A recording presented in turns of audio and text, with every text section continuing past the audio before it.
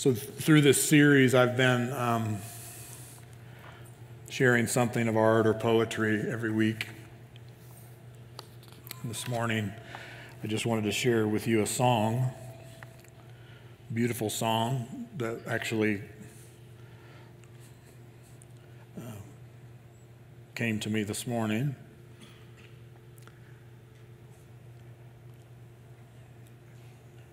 This song says, Praise the Lord, my heart. My whole life give praise. Let me sing to God as long as I live. Never depend on presidents, governors, senators, mayors, born of earth. They cannot save. They die, they turn to dust that day their plans crumble. they are wise who depend on God, who look to the Lord, creator of heaven and earth, maker of the seas. the Lord himself keeps faith forever, giving food to the hungry, justice to the poor, freedom to captives. The Lord opens blind eyes and straightens the bent, comforting widows and orphans, protecting the stranger. The Lord loves the just, but blocks the path of the wicked. Smoky Hill Vineyard, praise the Lord. Your God reigns forever from generation to generation. Hallelujah. It's a paraphrase of Psalm 146. That's the song today. That's actually the daily reading for today. Isn't that beautiful paraphrase? I threw in the Smoky Hill Vineyard part at the end, but God's word is so powerful and so impacting. It's important as we gather together to pray for our leaders to pray for our city, to pray for schools, kids, faculty, staff. It's important to pray for law enforcement, important to pray for those in government. It's important to pray for our leaders. This week, um, I had a meeting with the mayor of Aurora, along with the pastor from Flatirons and another part of our another guy that's a part of our church. We had a beautiful meeting. I'd not met this mayor. He took over last spring because our mayor died. And so he was kind of put into this place of being the mayor of our city. And he, not really a position that he's wanted, and he's only serving through the end of the term, which is 2019. I actually love to meet with people in leadership who don't necessarily want to be in a position of leadership. Anybody know what I'm talking about? Whenever you're with somebody who's in, in a position of authority or in politics or something else, and they're doing what they're doing because they have to do it or there's a sense of calling or something like that, it's much more powerful because plus they're not trying to sell you something. And I, we were talking about what is it that you see in our city? What is it that that we could be praying for you. How as a church and how as local church communities can we support you? How can we how can we help? And he was sharing different initiatives and things going on.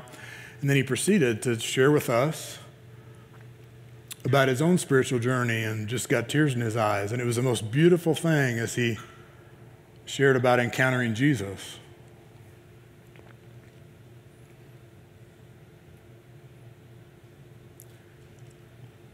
And I and we got toward the end of the lunch and asked him, you know, what was most impactful, or again, what could we be helping with? And he said, he says, you know, the thing that's most impacting to me is when you guys made the comment that as churches, you're doing missions all over the world, but the greatest mission field is here right in our city that we're responsible for.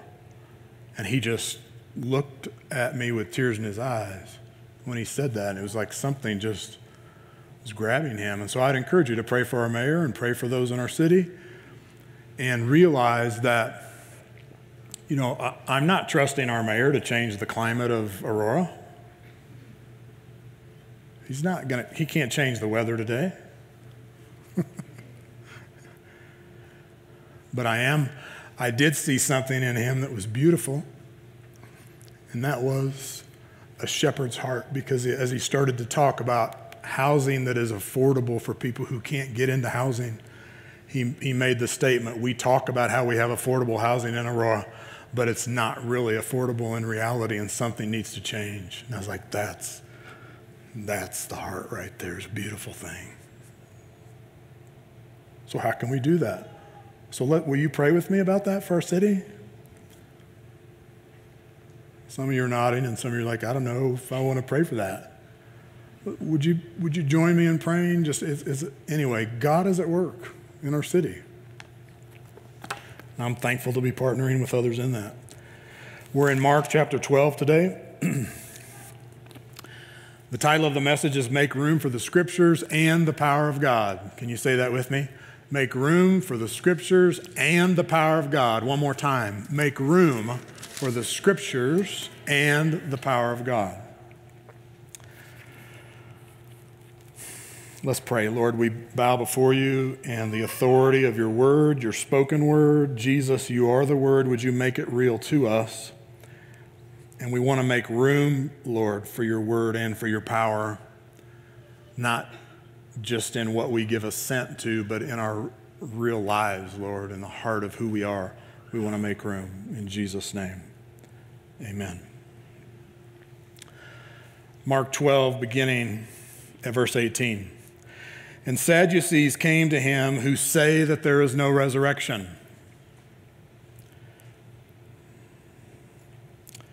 The Sadducees, let me hit pause here. The Sadducees were a small, smaller group. They were the aristocratic group. They were the most wealthy. The high priest was always, except with one exception, over all of the generations, was a Sadducee.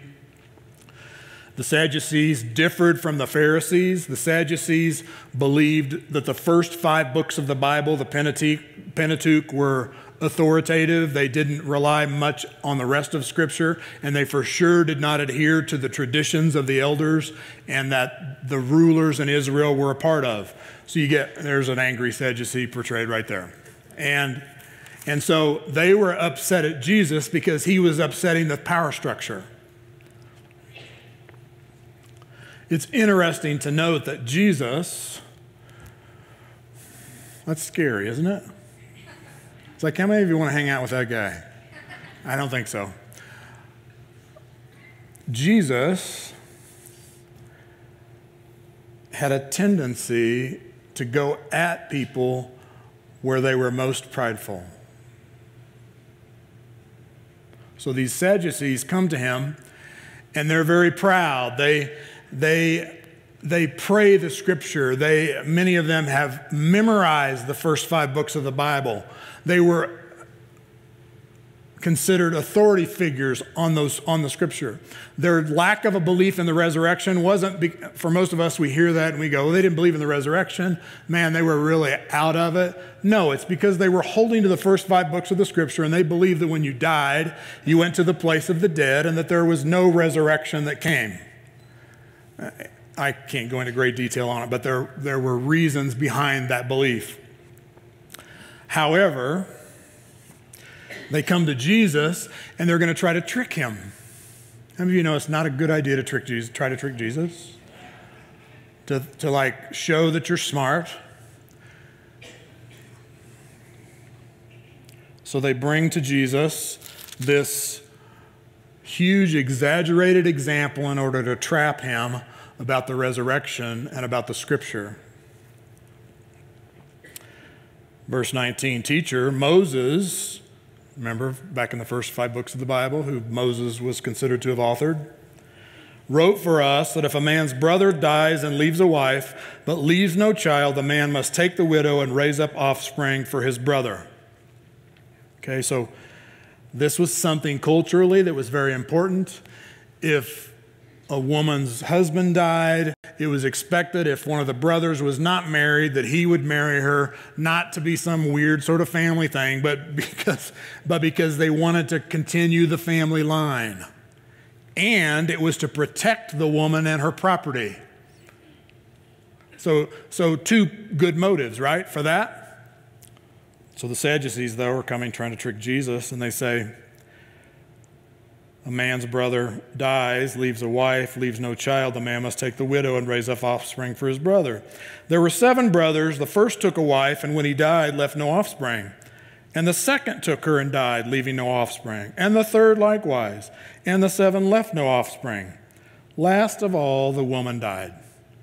In the resurrection, which they didn't believe in, by the way, when they rise again, whose wife will she be? For the seven had her as a wife.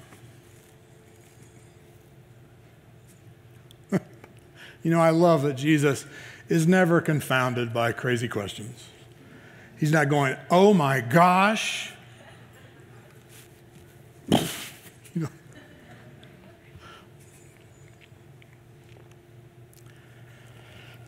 I love that Jesus, with the Pharisees, he takes the gloves off and he goes right at them in the area of them having no mercy. And with the Sadducees, this group, he takes the gloves off and he goes right after their unbelief and their lack of faith. And he actually uses the scripture to do it. Verse 24 Jesus said to them, Is this not the reason you are wrong?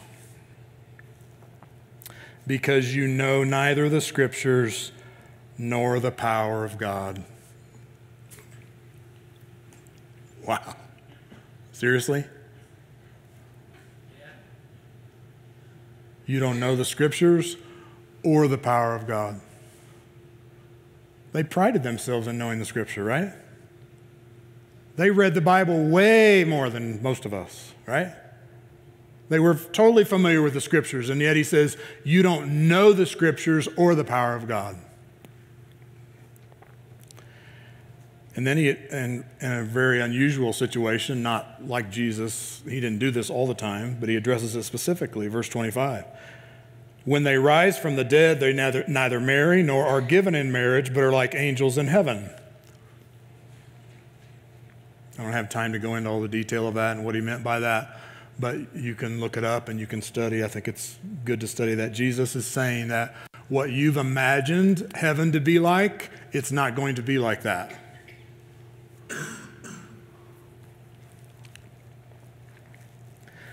And as for the dead being raised, have you not read in the book of Moses, in the passage about the bush? You see what Jesus is doing here? He's saying, okay, you guys, you are all about Genesis, Exodus, Leviticus, Numbers, and Deuteronomy. Let's go back to Exodus. Have you not read, and this is Exodus chapter 3? Jesus goes back to the scriptures that they're using as their authority.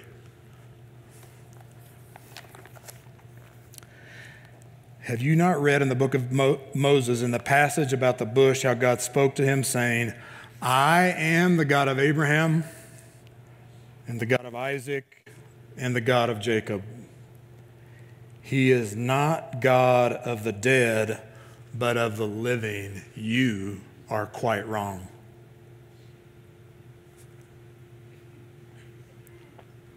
Now I read that, and rather than getting really smug about it and going, yeah, those guys are stupid, I go, oh my gosh, God, forgive me for being prideful. God, have mercy on me that when I think I understand something in your word, in fact, you can read the scripture day and night and miss out on the God of the word. You can go through all sorts of stuff in your life of ritual, of reading the scripture, and never have the word really come and take up residence in your heart and direct your life. You can miss out on the power of God. I love this challenge from Jesus because he quotes the scripture and then he gives a new understanding. I'm the God of Abraham, the God of Isaac, the God of Jacob. He's not a God of the dead, but of the living. In other words, everything that you've hung your hats on, you've missed it. He's the God of the living and not the dead. How many of you have had an experience like that? I know I've had, I've had many of them where it's like the lights come on and you realize, oh my gosh, I was so stupid in that area. I thought that was the most important thing. And then I realized God brought new insight into the scripture that maybe my heart, I hadn't made room for Him.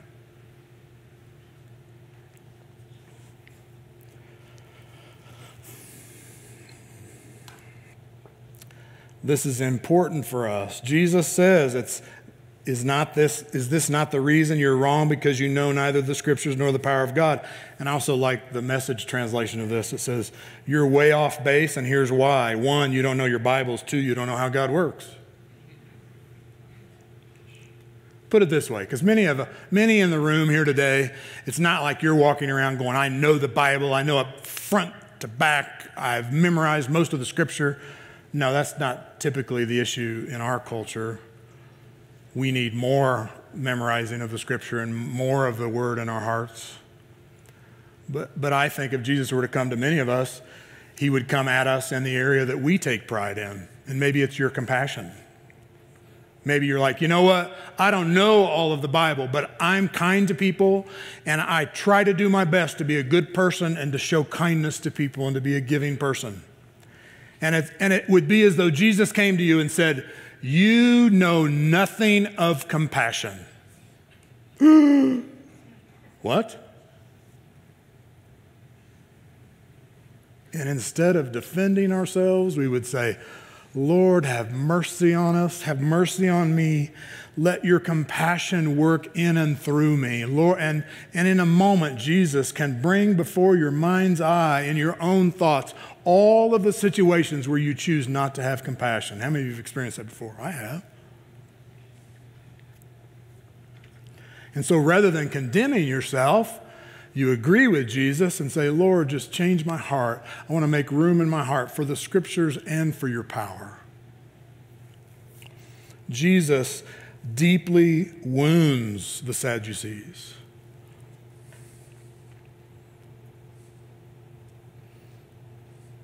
As a follower of Jesus, this is kind of like, to use a baseball analogy, which is a little depressing in Colorado because we're out of the playoffs, but the playoffs are still going on. To use a baseball analogy, it's like as a follower of Jesus, every day you have to stand up and stand up in the batter's box and stand up to the plate. Follow me so far? And as you go through life, there are going to be sweeping curveballs that are going to come in to the plate. And you have a decision to make with every sweeping curveball. And by sweeping curveball, I mean something that would normally cause you to jump out of the box and go, oh my God, whoa, and freak out. Something that somebody would say. So, what if you love God so much, where is He with all the suffering in the world? Curveball.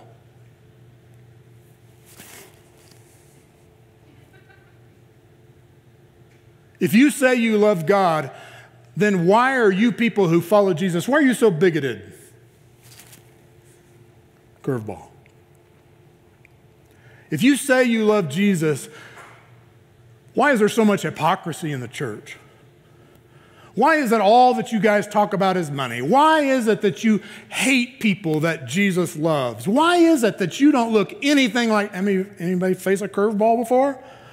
Why is it you believe the Bible? That's just written by a bunch of men. It's been translated a million times and it's all so different and blah, blah, blah, blah, blah. And I'm telling you, at that, moment, at that moment, and here's what I want to encourage you with this morning you don't have to swing at every pitch.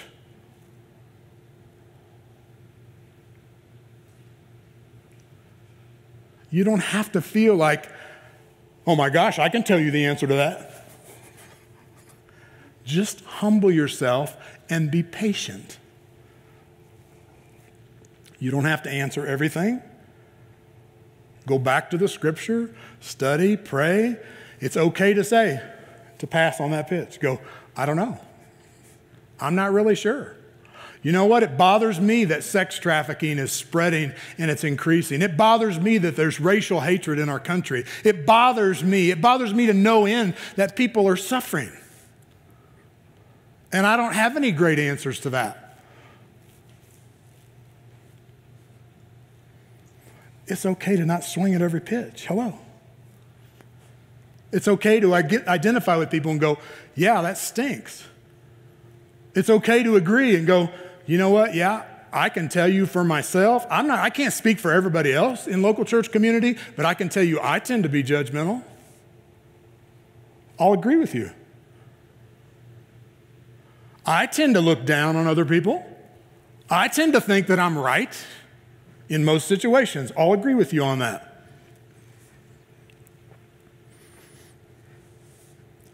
Rather than being so stinking arrogant and feeling like we have to, with every situation, giving an answer for the hope that is in you, as the scripture calls us to do, does not mean swinging at every curveball and being so arrogant.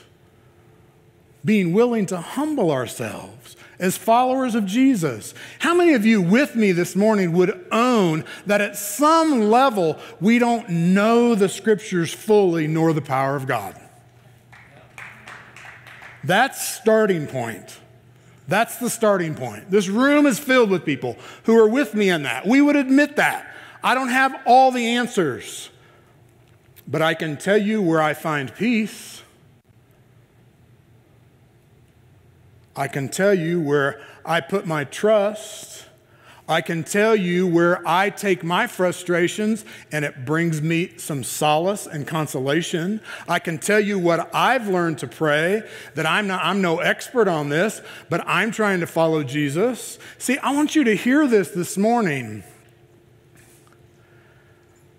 Following Jesus is not about a contractual arrangement, it's about covenant. Contractual arrangement means that here's the contract we'd have agreed to. I can I sign up and I, I've checked off on all those beliefs.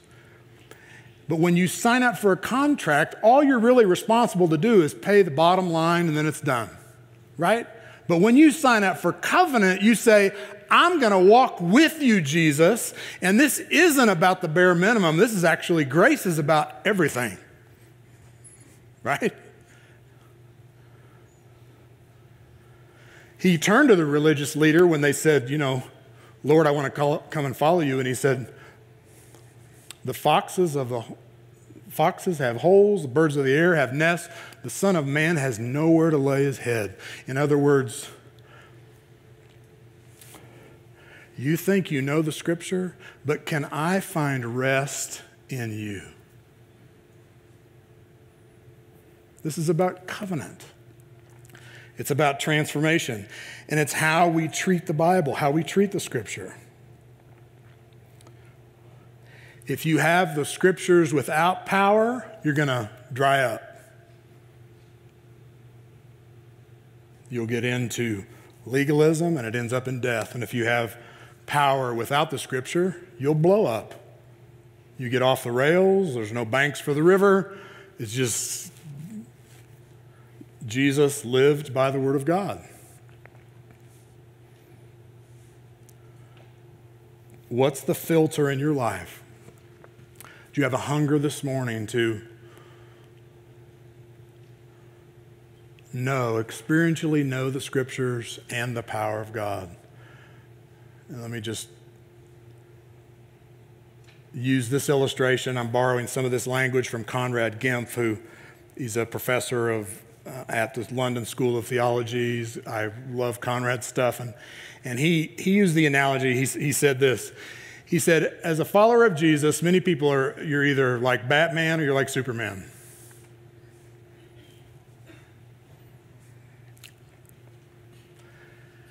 And, and Jesus, by the way, does not call us to be like Batman. And let me just paint the picture for you. Followers of Jesus who are like Batman, their mentality is that they want to separate out what's relevant in the Bible, the likable parts of it, from the irrelevant parts of life. They hope to sanitize it, organize it, and memorize those parts so that whatever problem they face in life or in somebody else's life, they'll be able to pull out the right bit of scripture and bam, all fixed. Batman is nobody special. He just works hard and he's rich.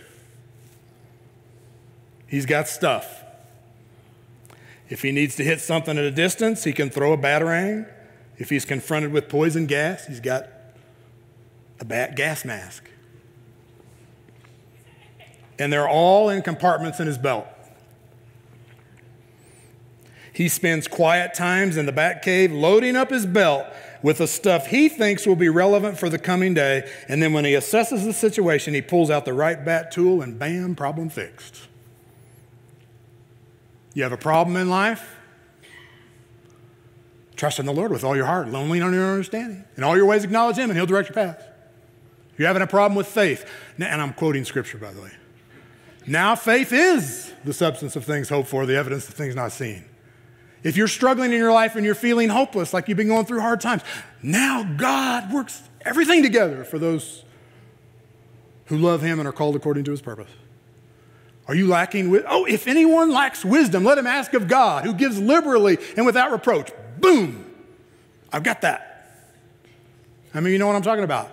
And for some of you, you bought into a version of following Jesus that involves whipping out scripture as though you're somebody like Batman in every situation where what's most needed is for you to pull out the right thing to fix it. That isn't what it means to follow Jesus. When Jesus healed people, he did not, Jesus quoted scripture all the time, but when he healed people, he didn't go back to chapter and verse and say, I am the Lord thy God that healeth thee.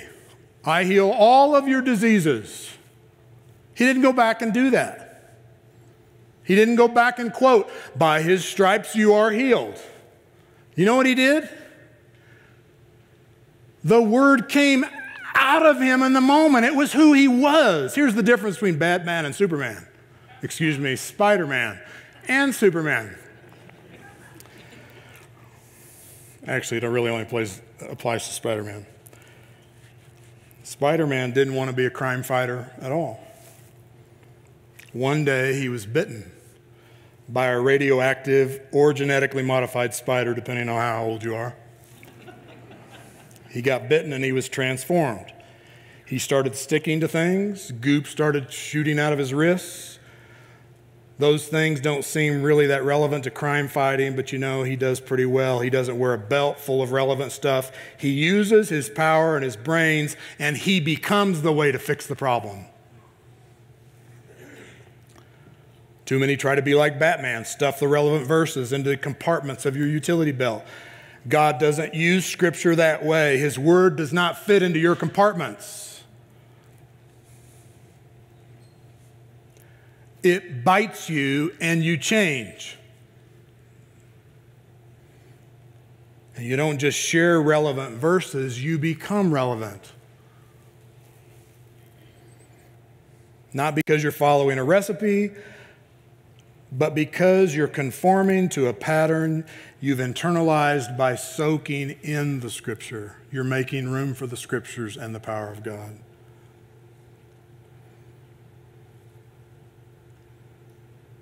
Pattern of Jesus. It's the pattern yesterday, today, and forever in the Old Testament, the New pattern, the New Testament. The pattern is that God has shown up in Jesus. Unless he's already with you, you're not going to meet him through books about philosophy. You're not going to meet him in meditation. You're not going to meet him through other avenues. You might encounter him there if you're seeking.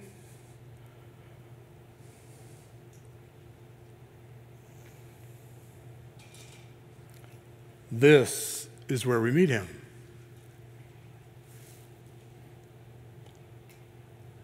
And as Conrad Gempf says, this is the source book for philosophers, or else they scheme in vain. This is the source book for theologians, or else they're just repeating their either or beliefs, insider outsider language. Jesus said, Is this not the reason you're wrong? Because you know neither the scriptures nor the power of God. And as Peter Kreeft said, another theologian, How do you get grace? How do you get grace? The same way you get wet. You don't do it yourself, God does it. But you have to go where God is, just as you have to go outside in the rain to get wet. Reading and praying the Bible is putting yourself in the way, standing in God's great waterfall of living water. If you stand in the street, you'll get hit by a truck. If you stand in God's word, you'll get kissed by God. And I love this. The scripture is the mistletoe of God. Man, if that doesn't make you hungry to know more of God's word, to know the scriptures and the power of God, that in all of your questions, you don't have to swing at every pitch. In all of your questions, you can yield to Jesus. You can actually step out of the box and go, hold on a second, I need. you can get some coaching that we all start in the same place. And let's make room. I'm telling you, I believe God wants to do amazingly powerful things, more than we've seen to date. Any of us. Make some room. Stand under the waterfall this week. And you may go, I don't feel any water. I don't feel anything. Whatever. This isn't about what you feel. Get into His Word, let it get into you, and humble yourself. That's the ground which causes fruit to come. Let's pray. Lord, we're so thankful this morning for your Word and the power of it, the power of it to change our lives. And we just confess the many ways that we end up being kind of like Batman and that we approach your Scripture as a something that we want to use in situations. And Lord, we want, we want to come to your word as, as living word, Lord, that would be living and active and divide soul and spirit, just come to the innermost parts of who we are. And Lord, in the situations we live in, Lord, I pray this for each one here. God, give us a greater hunger for your word and for your power.